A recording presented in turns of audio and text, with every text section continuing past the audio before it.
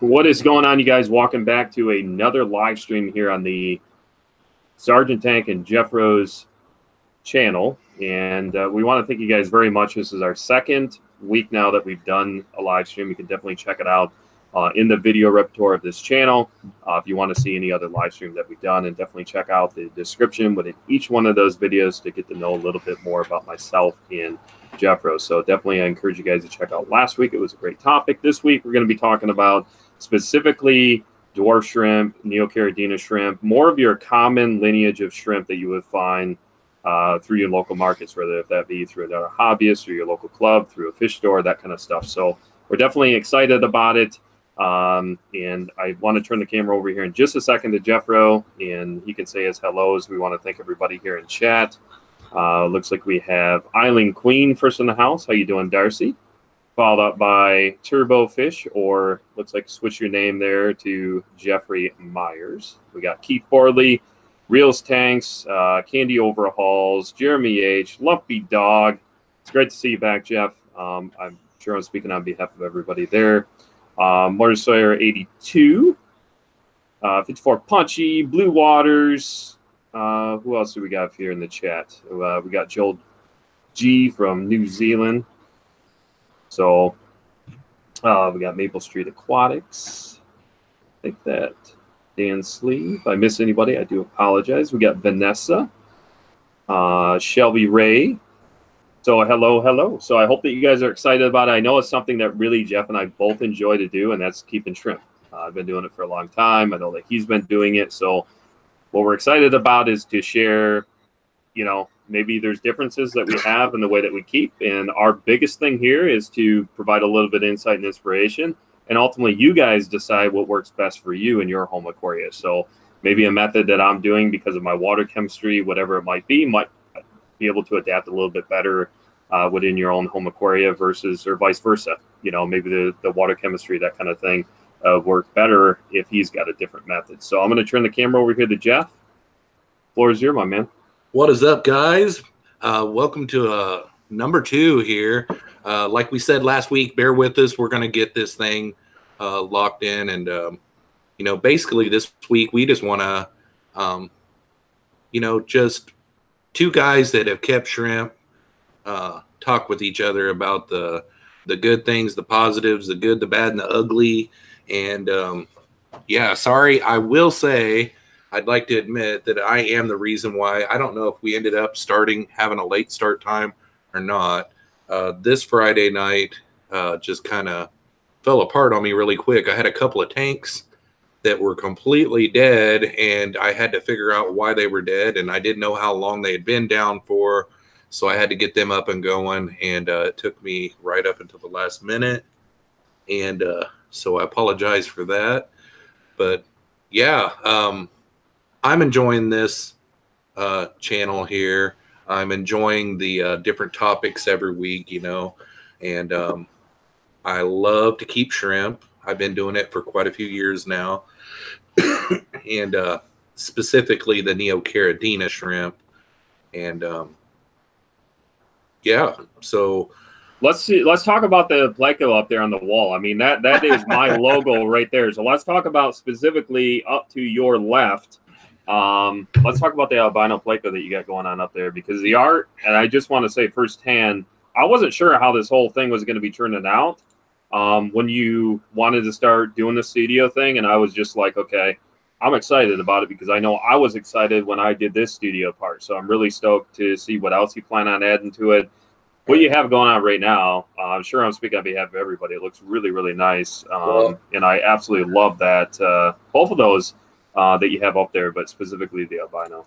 Yeah, I've uh, been really excited about this uh, this year. You know, with the changes at the beginning of the year of, um, you know, setting up goals for the upcoming year, I decided I wanted to try to class up and do a little bit nicer of a studio. Um, looking for, um, you know, just a little bit more of a, a chill aspect. And uh, I love plecos and fish and I love art.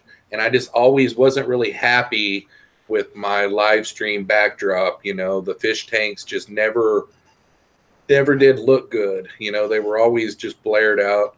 So I started ordering stuff a couple weeks ago, and um, I got some stuff in today. I got some art in today from Priscilla, but I did not have enough time to uh, get it hung up. But yeah, these um, oh, they are a print on. Um, gosh, what's that stuff called? What's that material called? I can't even think of what the material is. It's like a, uh, it's a print that's on just a little wooden frame, and I'm drawing a blank. But anyhow, I went ahead and I spent a little bit of money on those two pieces right there because I really like plecos. And then I went to my LFS and I got all kinds of little knickknack things. Like this little thing right here is really cool. It's like a little um, music box. It's made out of brass from like the 1940s, and it's got some fish on it, and it still works. And you could really technically hang it up and turn it on, and it will spin. The fish will swim around, you know. And um, then, like this lamp back here, whenever I was down in Missouri for the holidays, I made this for my grandparents when I was in the seventh grade, and I've got a really nice lampshade on order for it. Um, I'm going to fill in these this empty space here with some Priscilla, and then this empty space over here with some Priscilla. And uh, I don't know much about what I'm going to do down here yet. But then I also got this little salt lamp down here. So I'm really smelling good up in here right now. So I'm really excited about it. I'm still dialing it in. Tomorrow night's live stream um, will uh, probably have a lot more of it done. But every day when something comes in, I set it up and look at it and turn everything on to make sure I got my lighting right. And I think it's starting to look good. Yeah, looks good, man. So why don't you take us right into the topic? Um, kind of start out with what you're keeping right now, because I'm curious to know what what shrimp you're keeping kind of right now, what their ecosystems look like. Right. Um, right now, I'm keeping a couple of different grades of uh, your uh, red cherry shrimp. I've got one that's like a um, a fire red grade. So um, on the fire reds, you know, lots of times their legs will be red as well, and they're they're really bright red in the color. Um, so I've got a line of those that I'm keeping, and then I've got a just a standard, I would say, cherry shrimp line. Um, uh, the Reds, and then I've got uh, Fantasy Blue Dream line um, that's an import, um, and then I've got a black line of shrimp that you know a lot of people that I've shown say that they kind of look like a black rose, but it's a line that I kind of I didn't really necessarily create it, but I've worked on it for the last couple of years to get them down to where they're pretty much a solid black line, and uh, they look a lot like a black rose, I would say. And um, I don't hardly even have to cull that that colony anymore, and I've got them spread out. But then, excuse me, I also um, through all the uh, cullings and different things like that. I also got some really weird, like golden backs, like some chocolate ones that had some golden backs and some tiger stripes, and I threw all those into a tank that's kind of like a a Skittles tank, I guess you would say. So there's some blues and some purples and some yellows and oranges and just all kinds of different colors, and it's more of a a fun tank than anything. But um, a lot of my setups are different. Um, like the fire red cherry shrimp, I've got those in a breeding for profit tank, and um, you know, uh, what I found when I first started keeping these shrimp that um, the neocaridinae are really bulletproof, like people say. You know, um, they adapt to numerous types of water parameters. But one thing that I found with my water chemistry when I started keeping them was that I had to add some crushed coral because they were having troubles. Um, oh, they were having troubles um, getting rid of their shells. I drew a blank there too. Like, um, you know, like I noticed that I was losing some every once in a while whenever they were getting rid of their shells, and I asked around and they was like, oh, just add some crushed coral, and that really zoned it in. So, in pretty much every setup I've got, I've got to have some crushed coral in it. But you know, I've got some shrimp on sand. I've got some shrimp on, um, you know, like a, a Fluval stratum, and um, then I've got some on uh, gravel. You know, I like to split my colonies up, especially after I get them going really good. That way I can sustain the colony if this tank was to crash or something like that. But yeah, that's pretty much the, you know, and I've got one tank that's got uh, crystal shrimp in it, which is the Caridina. But um, other than that, that's pretty much all my shrimp. I've, I've got them all over like like eight different tanks. I've got them spread out. I have no words tonight, Candy, at all. So yeah, that was great. Um, I mean, it sounds like uh, you're definitely enjoying the, the shrimp the shrimp hobby. Uh, I know a lot of us do, and and again, anybody that knows me well enough, I've been keeping shrimp for a long time. Is actually one of the most profitable systems I had. That was less than a twelve it was basically a, less than a one cubic foot. It was back when Fluval really started designing and incorporating a lot of their nano systems. So that was the EBI or the EBI, um, and it had like an internal filter that came with it and the substrate and all of that. Uh, but I had different lineage and different grades of, of cherries. So what we actively run now, uh, based on shrimp tanks, is I keep everything uh, based on uh, you know if I can if I can obtain it um, like, for instance, one of my favorites right now uh, that I've been working with for about two years, and that is the Neocaridina heteropoda. So the heteropoda is just kind of more or less a fancy way of saying a derivative from a wild specimen, a wild strain. Um, which, in my experience, in my opinion, if you work that lineage long enough, it's much better uh, from the get go. And you want to maintain um, that lineage. So, what I do is I don't incorporate other lineage. Um, and we'll talk a little bit about that later on, possibly, uh, or in a different topic. But when you're going back to the black rose, a lot of those can be derived off from even your higher, like even your fire red or your carbon, really, where you can start seeing some of those chocolate uh, strains and that kind of stuff. So it can get pretty complex, but there's a lot of literature out there.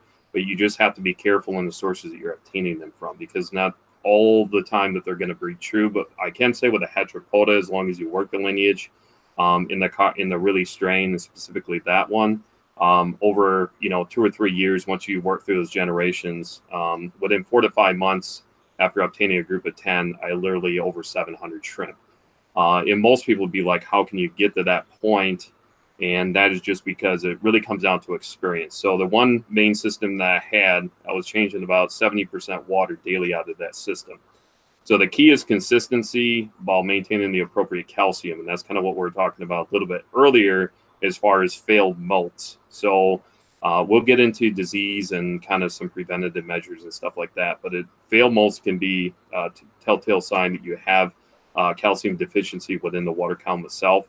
And I would agree with Jeff uh, 100% of what he's talking about. Uh, a good uh, source that I have found personally through the years, not only with shrimp, but other species, uh, good buffer uh, to maintain the appropriate amount of calcium is crushed coral versus using like um, um, bone or other sources, um, eggshells. I, I, just find that it lasts and it lasts a very, very long time. Um, yeah, I've had systems still running for years with crushed coral. And my rule of thumb is one pound of crushed coral per 10 gallons of water based on our municipal water source. But we already have a lot of good mineral content and a lot of good calcium already out of our municipal water source. So I do get it. You're running on a different type of system. Uh, maybe you have to remineralize your water and that kind of stuff. Uh, so we are fortunate enough here with our source that it's it's superb, superior, and ideal when it comes to shrimp. Uh, I've been keeping and maintaining shrimp for almost 14 years, and we've seen a steady decline in our market uh, with shrimp. Probably, I would say back in about uh, 2000, I would say about 2010, um, up until about two years ago, uh, where it was it peaked and then it kind of just slowly started uh, dipping, and now we're starting to see a lot more trends. And again, it's all based on location. But I can tell you here in our market, what I've seen, uh, now we have a lot more options because you start seeing a lot more uh, variety, a lot different co- type of color morphs. The majority of the shrimp I can tell you now that are bred in home aquaria are going to be your Neocaridina davidii. So, um, and then it kind of goes from there. But the majority of them, unless you know for certain where they came from, uh, you can almost always uh, anticipate they're, that they're going to be uh, a davidii um, based on that. In and it's just basically a different color morph um, off from that. So the ones that I keep that I personally enjoy the most is the Carbon Rilis, a really really stunning one. Like I said, you do have to uh, work with the lineage, and once you kind of start getting the lineage going, um, you can start maintaining and start getting some of those um, more pure lineage uh, inconsistencies with the with the actual Rili strain. Uh, of course, I've kept cherries. Um, I've kept uh, orange, you know, snowballs, um, black rose, uh, blue dreams, fantasy blue dream. Fantasy blue is just basically a fancy way of saying when you hear the word fantasy blue or fantasy blue dream or fantasy shrimp it's really just saying that there's inconsistencies as far as how they actually breed true.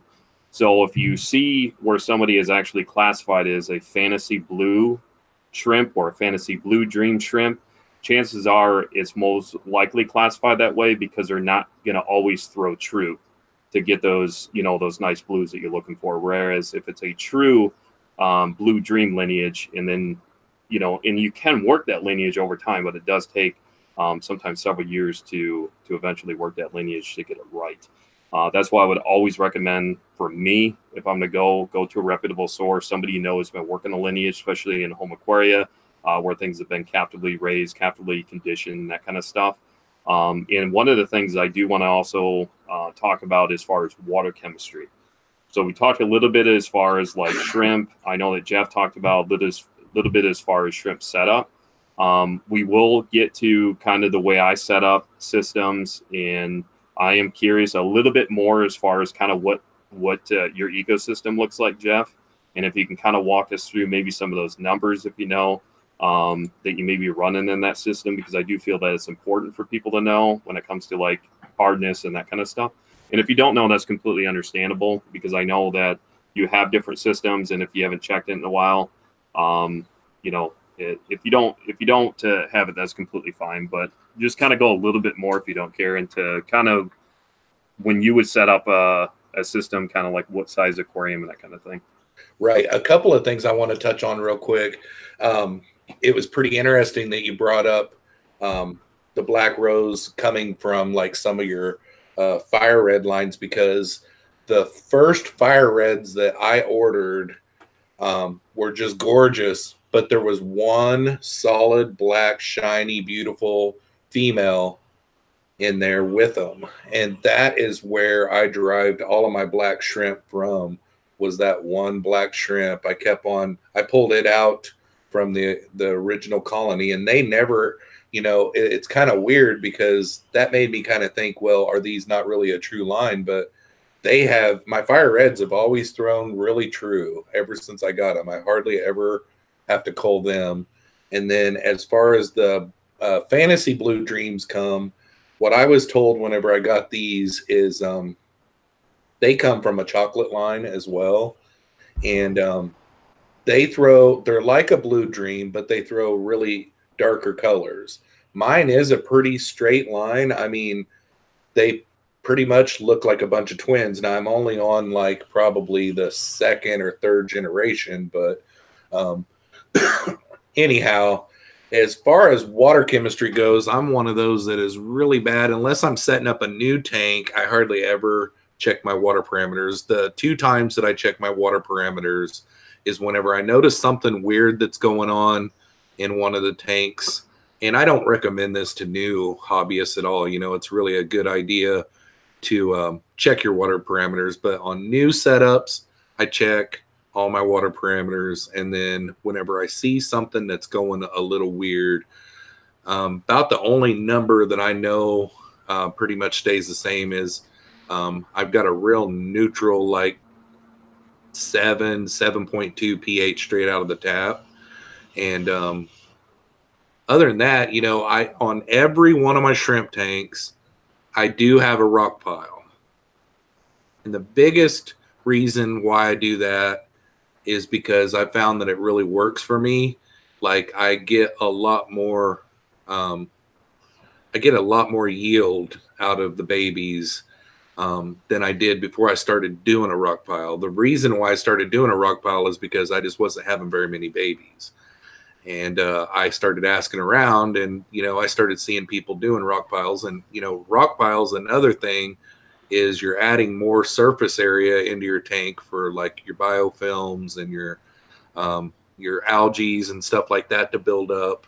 Um, all my shrimp tanks, I only keep one uh, one glass clean, and it's barely clean. You know, I mean, when I see it starting to get pretty dingy, I'll scrape it off where I can have a viewing panel, but I leave the rest uh, to go.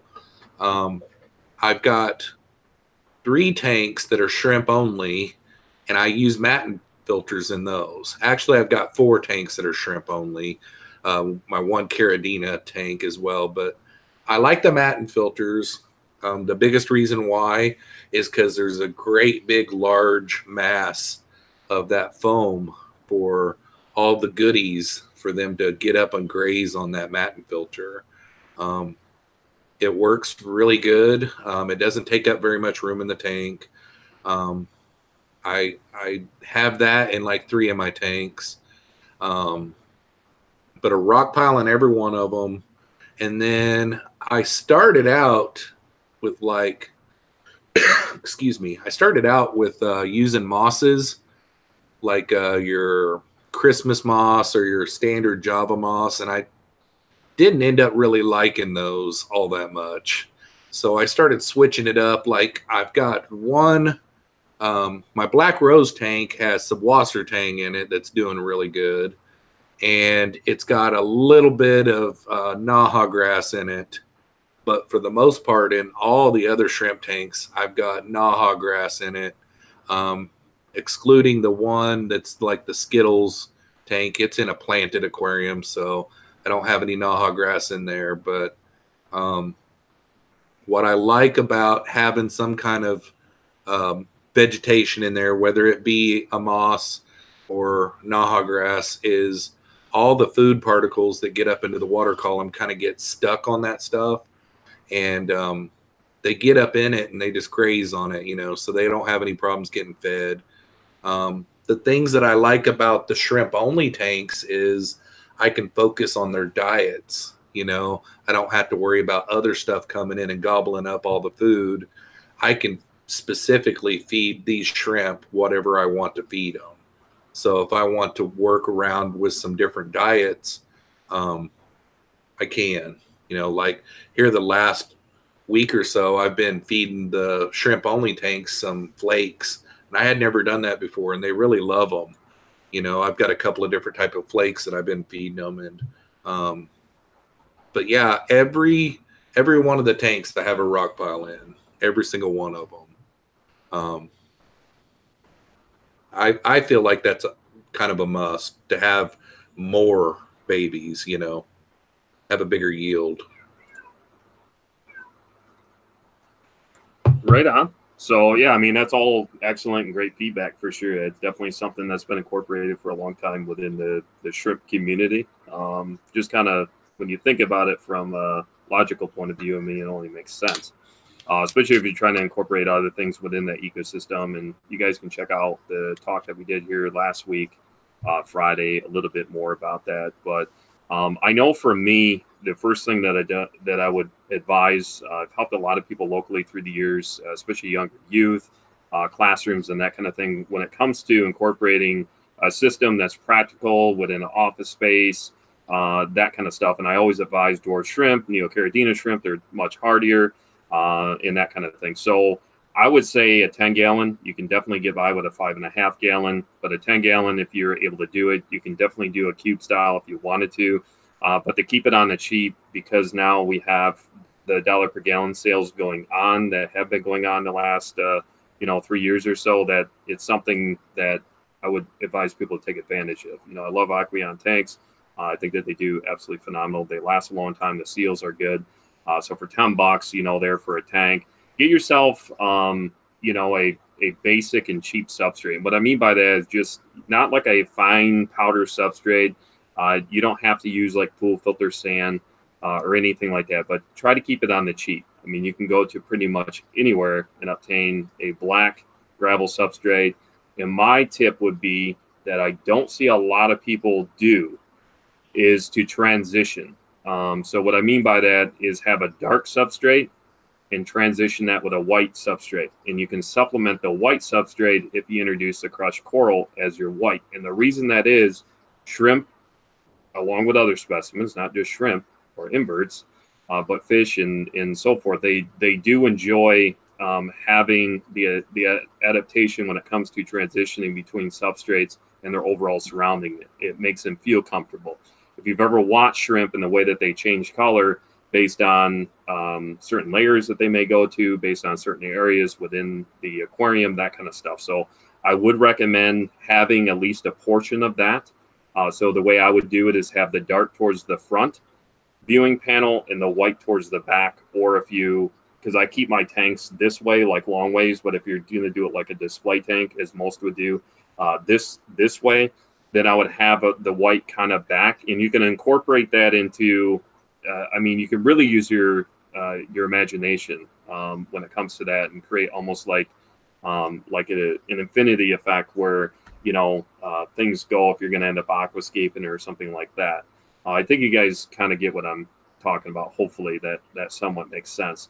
So instead for me using rock piles, the reason that is easier to fetch them out, I find um, by not using rock piles. So, me personally, I don't use rock piles. Um, I have used them in the past, but what I use to supplement that would be using spawning mops. And the reason that is that most of the systems that I do here aren't for display purposes, they're for providing to other hobbyists. And you can still get really good yields by doing it this way. Instead of using the rock piles, the shrimp will find them way their way in there. I think I did talk about it last week uh, something I've never seen anybody out ever mention or ever use. I'm not saying I'm the one that invented the wheel, but I will say that it's something that it, through you know 20 plus years in the hobby, I've never personally ever heard anybody say or ever use this specific idea, and that's when the shrimp get into the spawning mop. You take a cup or a net, and you can go ahead and carefully raise it all up, and then transfer them over so you have that redundancy in place where they can grow out and that kind of stuff. And you will literally find um, a ton of shrimp packed into that because of the biofilm and that that will build up and the bacteria that will build up on the sponge filters. Um, I would say the other thing is too, you don't need a ton of airflow uh, for these type of shrimp in a specific aquarium, but you do want to be careful with dead zones um, when it comes to that. What I mean by dead zones in an aquarium is to make sure that you have no dead spots where you're dealing with um, certain uh, anaerobic issues and that kind of stuff. So, um, where you know some of that bacteria can cause some long-term effects and issues uh, if you aren't maintaining uh, the appropriate water chemistry, and that that goes not only for shrimp but also other ones because you will find where shrimp can start developing some bacterial issues. Um, there's there's different types of parasites that can happen, but for the most part, if you get them from a good uh, source that have um, you know put the time into it and and have been dealing with it for a period of time, not like six months, but for four, five, six years, uh, then I would recommend that you always go to a source um, that really has proven themselves when it comes to that. Because you may not notice some of those issues up front, uh, but long term, I've noticed issues when I got them from other sources uh, years back. And you know, the first three, four, five months, things would be going fine, and all of a sudden I would start seeing some some issues there uh, within that. And it wasn't a water chemistry issue; it was definitely more of a deficiency um, in lack of uh, genetics when it came to the shrimp and as far as being hardy. Shrimp, shrimp typically with the Neocaridina, you can find them to live anywhere between two and four years. Um, I've had Neocaridinas literally the size. I've had females about that big, um, and uh, we won't talk too much as far as like grading of shrimp uh, when it comes to competitive reasons because that's not why I'm in it. I just enjoy um, looking at shrimp uh, just from the standpoint. I, I, think they're really a good contributor to an ecosystem. Uh, and they do well with a lot of different nano species if you incorporate that right. I did see a question here earlier specifically with corydoras. So whether if you're talking about corydoras or aspidoras, um, that kind of thing, uh, you could potentially get by with it. Just know a lot of those uh, species do tend to be a little bit more predatorial, especially in the evening. But you always have to keep in mind different levels and stages for what your ecosystem is. So what I mean by that is corydoras a lot of times will stay towards the bottom. However, uh, depending on what species it is, in the type of activity and how in there's a lot of variables that go into there because you might find one group of fish uh, that somebody has that exact same species with person A you go to person B's house and you're like, I never see these fish. Maybe person A is more active around those fish. Maybe they've had them longer. Maybe their water chemistry is a little bit different, that kind of thing.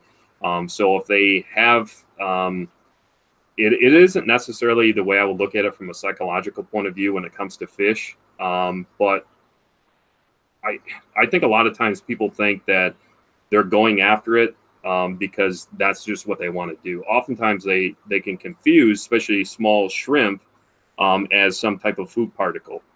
So you just got to kind of factor in, you know, how you're feeding, what you're feeding, and that will kind of tie into the next thing I want to talk about. Um, now, as far as heat, and I'll wrap this up. You shouldn't ever have to put a heater in any shrimp tank uh, for the most part. I, I, definitely would advise against it. If you can maintain your Neocaridina shrimp tanks anywhere between 68 and 73, you will be golden. I find the sweet spot for breeding uh, most uh, lineage of the Neos uh, right around that 71 to 73 mark.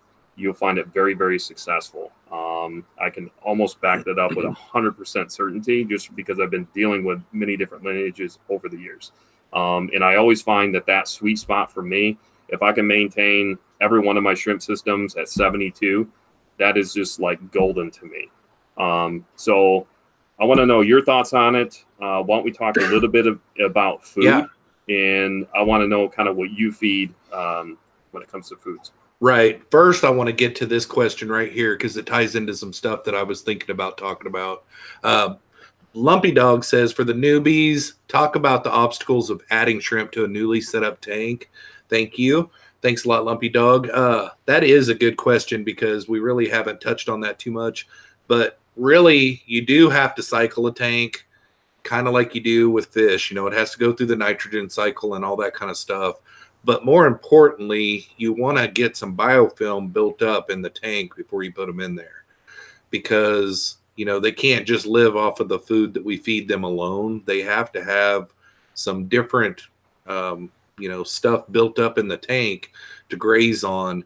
And um, i have found that my tanks that have been set up longer take off and do better. Um, especially you know because these things they're going to breed. They are. And those babies when they are born they're going to need all the good stuff to uh, to eat in order to survive. Um, one thing that i did learn early on in the hobby as far as shrimp keeping comes is um, you really need to keep it simple as possible. Because if you start listening to everyone out there in the internet you'll do things like i bought fluval stratum. I thought that neocaridina shrimp had to have fluval stratum. And they don't. Fluval stratum is a buffered type of substrate that over time changes your ph. And neocaridina shrimp they can adjust to all kinds of different parameters. So it's not like I was really hurting them, but I didn't have to go out there and buy that stuff. Um, you know, sand, like Jeremy was saying earlier, sand or gravel or a white and a dark, you know, um, that that will do just fine. Um, I thought that you had to have all kinds of different things in the tank. You know, I thought you had to have cholla wood. You don't have to, but they do like it. They graze on it. Um, I thought that you had to have Malaysian or not Malaysian, but you know your your leaves. You know, uh, you don't have to, but it doesn't hurt. It it's a big surface that builds up biofilm film and they also eat it as well so you wouldn't have to feed your shrimp as much you know like a shrimp tank you could you could run off from it for a long vacation and not have to worry at all if you have some leaf litter and some different types of wood and stuff like that in there and you know but um yeah as far as um food goes I never did ever feed my shrimp every day, and I don't recommend it. I mean, I've heard of some people doing it, but they don't really have to. I mean, all of my tanks have all kinds of stuff in there, like what I just talked about, you know, and um, they just graze on all the little stuff that's built up in your tank, and you don't have to feed them. I've heard of people feeding them once a week. I tend to feed mine once every three to four days, you know, um, something like that. Um, I feed mine a varied diet. Like um, I do feed them some vegetables. Like I'll put, um, you know, like a cucumber in there every once in a while, or you know, a zucchini every once in a while. Green beans on green beans day, you know, I'll put some green beans in there, and they love that stuff. Um, I also feed um, Northfin kelp wafers, and they really love that stuff. Um, then, like I said earlier, I've been feeding some um, oh some flake food to them here lately, um, and they really they really like it too. Um, I've never tried to be real specific with their diet, you know, to try to gain a certain color or um, you know make them mega big or anything like that. I've just always on all my fish and all my plecos and all my shrimp, I vary their diet. You know, I don't always feed them the same thing, and um, none of I don't have any picky eaters at all in my fish room, and I think, you know, I don't know if you can really scientifically prove it, but I feel like that's the reason why I don't have anything that's picky is because I just vary their diet all the time. Ever since they were babies, they've had different foods to eat and they've never picked at it and never been picky and said, no, we're not going to eat this. Um, but just know that you don't have to feed them every day. You don't, you know, you don't want to feed them every day is the way that I feel. And, um, you know, every three or four days is totally fine, especially an established tank you know, maybe a new tank, feed them every other day for a while, you know, um, lightly, you know. That's another thing you don't want to overfeed them because that's when other uh, pestilent stuff starts kicking in, and um, you know you, you can create uh, a lot more problems if you're if you're not careful if you overfeed. So hopefully I didn't ramble too much there, but no, not at all. I mean, that was all great uh, insight and feedback because you're just you're telling people what you've done and what has worked for you. Exactly. And I would think that we both agree. Anything that anything that we say here uh, through this channel is really to provide a little bit of insight, and it really is up to um, those individuals uh, as the aquarist to take it upon themselves to really learn to see what works within their own ecosystems. You know, I never want to try to um, deviate anybody away personally from what they're doing. If it's not broke, why fix it? Uh, but again, if you always do what you, you done, you're going to get what you always got, kind of thing too. So if you constantly have issues with failed molts or bacterial issues, then obviously it's something that as an aquarist that you're doing wrong.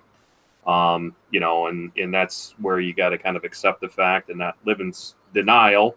You know, I I've had now just from being on YouTube, I've had a lot of people reach out to me over the last uh, two plus years now of actually putting out video content. And they'll finally come to me a uh, year down the road, months after uh, the road, and wondering why they're being unsuccessful. And really, to me, uh, going back to when you're setting up any ecosystem, numbers don't lie as long as you know how to read the test. That's why we have them. Way we talk about the nitrogen cycle.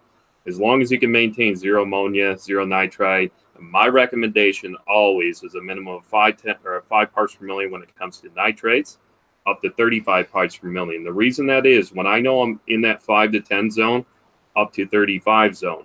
35 is now getting to the point where that tells me, hey, there might be some influx here. I need to look at, uh, you know, uh, maintaining whatever it is that's going on, that kind of thing. So when I find if you ever just maintain, and I would have a very, very difficult time even from a scientific point of view, to maintain uh, zero nitrates. I can almost guarantee you any municipal source that you find, unless you're using straight up um, reverse osmosis water and then remineralizing, and that's kind of a whole nother conversation. Uh, but it's good to have a lot of those tools on hand as well. So there is different remineralizers. You can definitely re- remineralize it with the appropriate buffer uh, when you're talking specifically about neos. Same thing if you're talking about Caridina shrimp. And we'll probably talk about Caridina shrimp in the future if you guys definitely enjoy this. And if you do enjoy it, they tell us here on YouTube to make sure that you guys like. Um, so if you guys are watching this in the replay, uh, it's just one of those things I feel a little uh, weird to even ask or even mention, but uh, they tell us on YouTube it's it's a good thing to go ahead and hit the like button to let us know that you enjoy it. And if you don't, that's completely understandable as well. And we hope that you definitely enjoy something maybe different in the future. There is polls um, here on the channel. I don't believe uh, we scheduled this late in the afternoon earlier today, so there isn't a poll, to my understanding, unless Jeff did one um, when it comes to that. I know Jeff um, was more used to the poll thing than than I was, and I think it's a great tool. I really enjoy it. Hopefully, you guys enjoy it. If you guys are aware of what I'm talking about, just put hashtag poll here in the chat to let me know if you guys checked out the last poll that was going on. That kind of is what gave us the idea into this week's topic, and then going forward, we kind of leave it up to the viewers of the channel to ensure that the you know the whoever the majority is on that poll will uh, essentially go with you know whatever topic that is that you guys want to talk about. Because i know for both jeff and i we could sit here and talk just about anything fish keeping related. And i would say most of us here uh, even in chat could just nerd out about anything fish related because that's just what we do here in the fish community um, now, as far as food, so I use again uh, everything that you mentioned. Um, not that I use every single manufacturer, but as far as the the dietary and appropriate requirements, something I always preach on: diet confusion, skip feeding, that kind of stuff. The same thing I apply. I always practice what I preach. So for me, if I'm feeding a shrimp tank, it's about once a week. Um, and most of the time, you can actually get by by maybe even feeding once every two weeks once you really, really get a solid system set up. And that might take you a couple of years once you build up a lot of good uh, beneficial bacteria in that system, a lot of um, you know microbacterium and that kind of thing. Uh, and especially if they have a Matten filter or a Hamburg Matten style filter, which is like basically covering up one side of the tank kind of deal. Uh, those work phenomenally well because of the surface area, and Jeff already made mention of that. Um, now, talking a little bit about filtration, uh, there isn't much more I'm going to talk as far as foods because I think everything was already really touched on uh, there. So let's kind of go into the filtration aspect. My recommendation with filters, because of the very small fry, um, if you can, if you feel comfortable doing it, and I would always advise doing it, uh, personally would be using a sponge filter of some sort.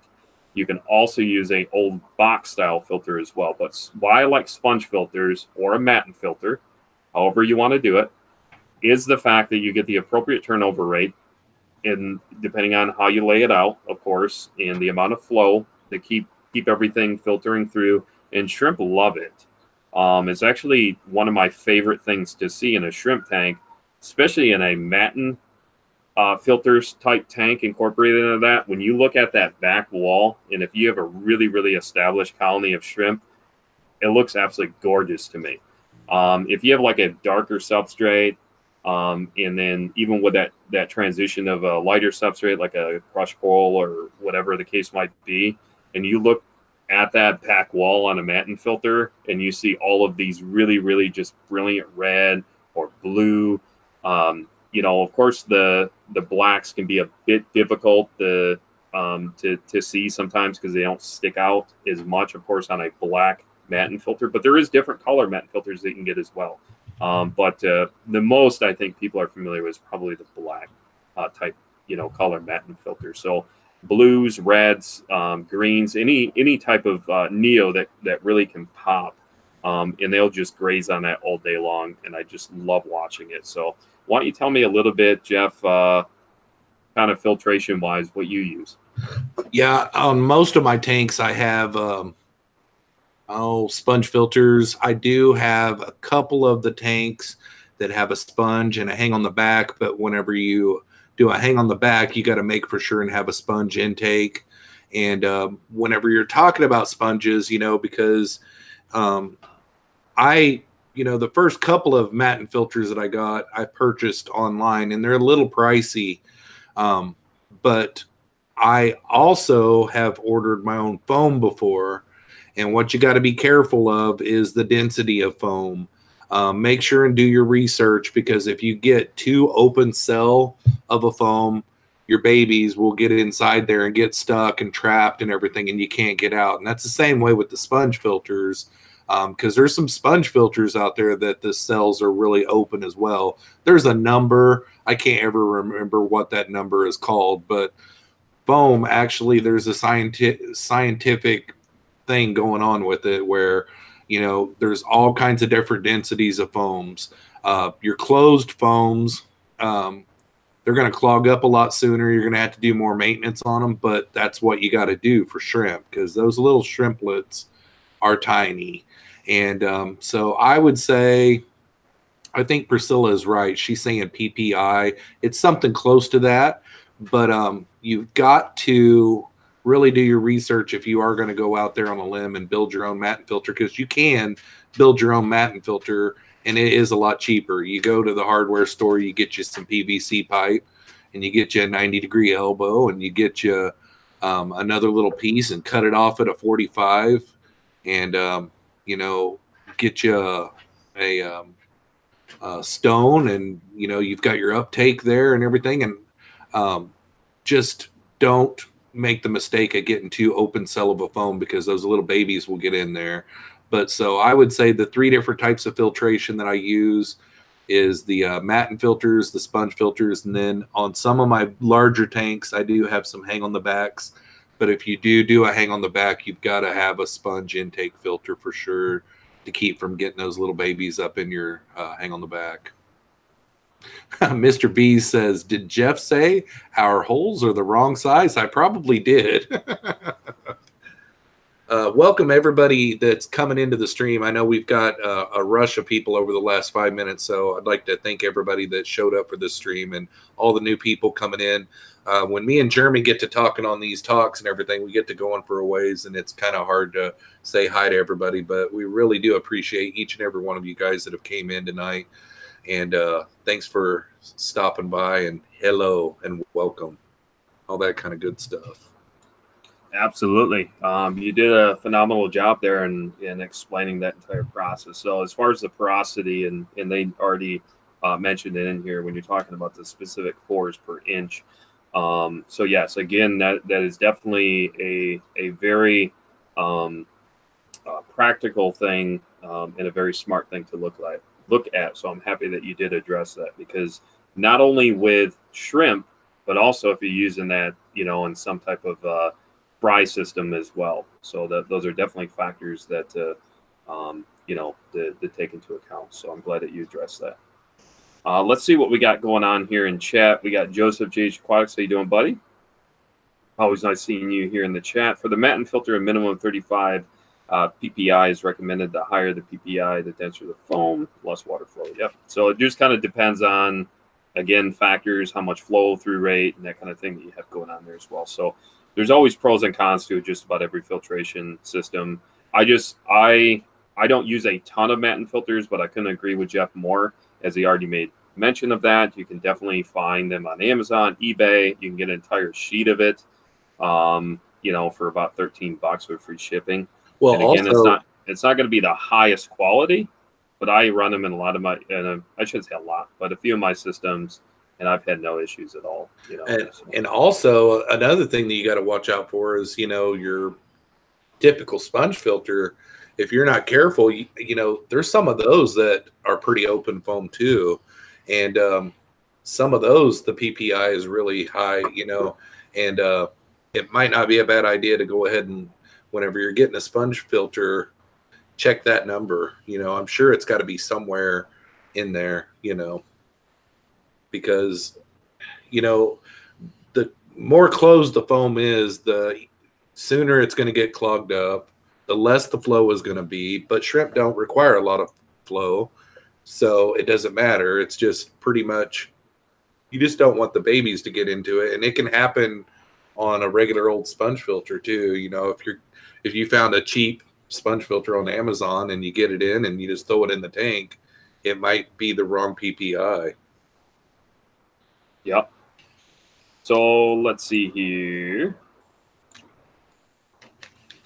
Um, gonna pop over here to chat. So again, if we miss anybody, um, thank you so much for popping in here. We definitely appreciate it.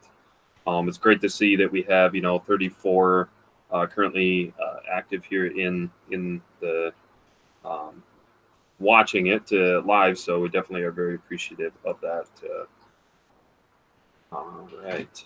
So don't believe I missed anything. But if I did, just go ahead and, and put it back there into chat. Do you see anything at all? I seen Daryl for the first time tonight. I've not paid a whole lot of attention to the chat, which I, um, and then I seen Joseph just now pop in. So glad to see those guys and Rack.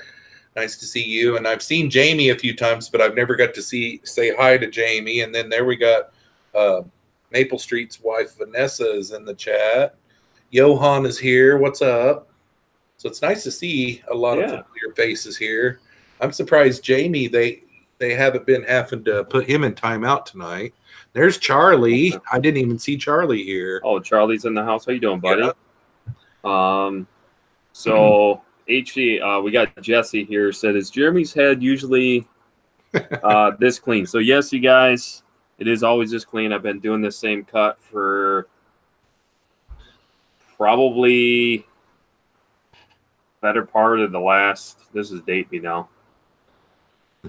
I would say probably well over 15, 17 years now. Um, I've probably been doing the exact same uh, cut. So, yeah. I really need to get on mine. Whoa, we got dank tanks in the house. How you doing? What is up, dank? Mr. Danky Tanky. inside yeah, joke.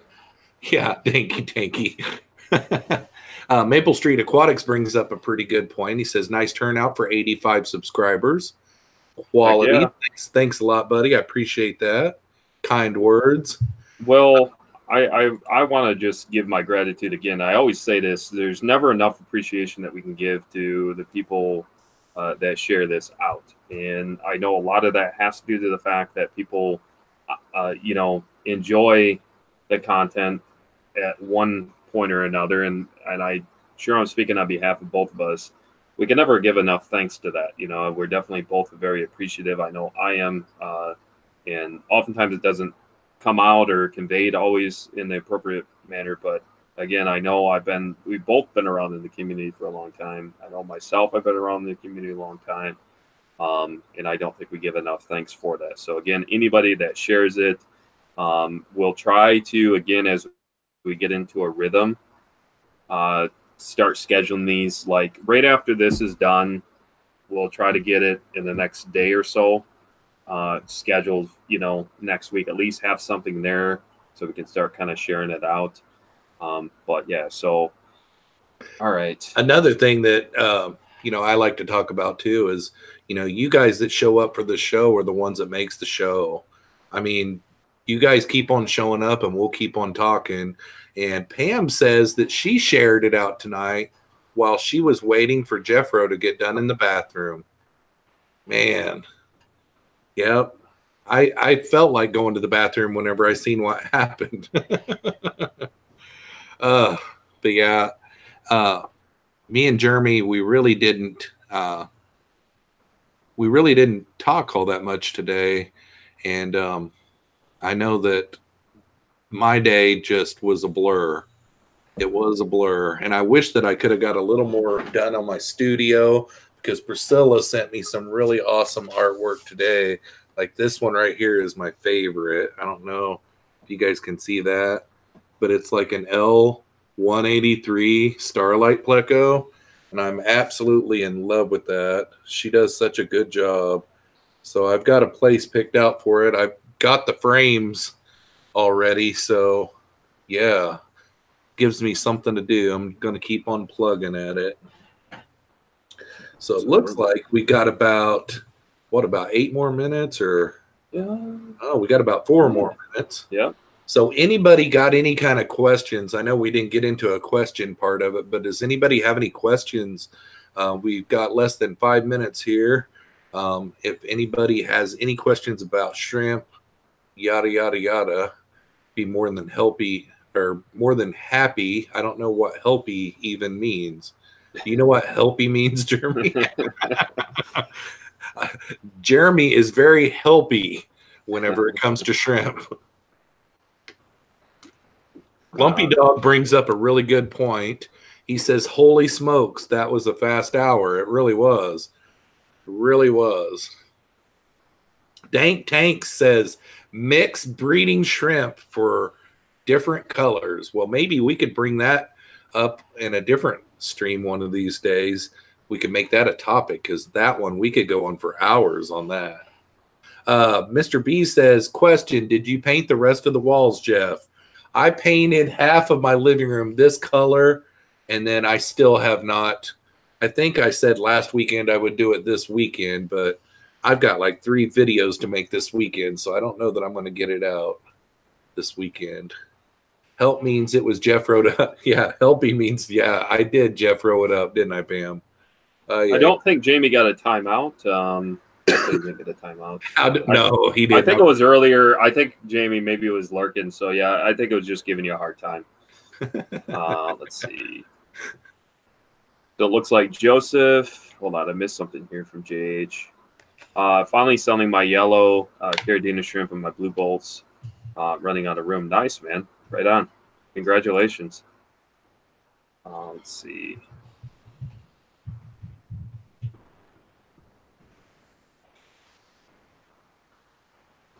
I think that catches us up. Cool. That that uh, actually I was um, let us know right now, uh, or if you guys happen to get to this point in the replay, I would love to know just down in the comments um, if you've watched it, if you are specifically watching this uh, not only live but in the replay, if you actually watch the entire thing. Um, we definitely enjoy continuing uh, the chit chat with you guys um, after the video has been processed and uploaded. So Shelby um, Ray has a good question. Yeah. Do the Skittles slash cold tanks revert back to the wild brown form? I have had some that do, and I've got this one female that is just the most Hershey's chocolate, beautiful, shiny specimen. I mean, even her legs are chocolate and she only shows up every once in a while. You know, she gets buried and then she it's a planted, a heavy planted aquarium, and she just disappears. Uh, if you go back far enough on my Instagram, probably maybe four or five months ago, I put a short little video clip of her that was a real nice clip. And um, but for the most part, mine revert back to those uh darker browns that have like a golden back on them and stuff. That's uh, it, it's you. You never know what you're going to see on a feeding night, especially if you haven't fed them for like five or six days, and then just all the shrimp come from out of nowhere, and uh, it's pretty cool. Right on. I would say that's the top. That I think wraps it up. Why don't you go ahead and again I personally want to thank everybody for joining us for this second week now in a row of uh, this new channel. So I'm excited to see what happens in the future. So with that being said, again, I want to thank everybody for showing up. I'm gonna let Jeff go ahead and close things out. Yeah, if you guys haven't voted on the poll, uh, what we've been doing is last week and this week we've been running a poll, and basically what the poll is is uh, future content that we've got some ideas for, and this week's uh, content on this video right here is from what you guys voted for last week. You guys uh, voted for some, you know, care topics, you know, on certain species of fish. And me and Jeremy got together this week and we decided that we would just do it on shrimp. But uh, we appreciate appreciate everybody that does that. Um, make for sure. It looks like we got 31 watching and 31 likes, so we don't have to go over that again. But uh, make sure and come back the same time next Friday night, and we'll have another great topic to talk about. And this this uh, channel right here, the Sergeant Tank and Jeffroz show, is only going to get better, guys. Me and Jeremy are going to mesh before long, and uh, yeah, I think tonight even went better than last week. So it's just going to get better and better. Uh, thanks a lot for everyone that came out again, and uh, we'll see you next Friday. Peace out, y'all.